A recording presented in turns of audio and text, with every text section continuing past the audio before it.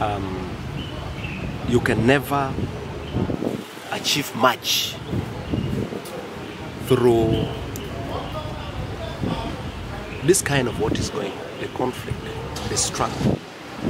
I do not want to call it senseless struggle, but I think our cultural leaders need to reflect deeply and find the best way to resolve these issues peacefully. There are two functions. The saddest part of it is that the leaders now, like myself, do not know which group to go to in times of need.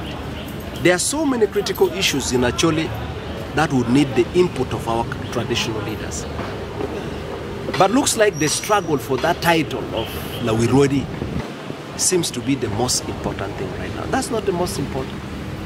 The most important is how are we going to help our people get out of poverty, develop the region. There's so much that we need to do. But you see, some people are stuck to the title of I want to be Lawirodi, I want to be the paramount chief. It shouldn't be about the title, it should be about responsibilities. So I want to appeal to my leaders to reflect deeply and find the best way to start to communicate to one another and find the best way to pull back a bit and accept to reconcile.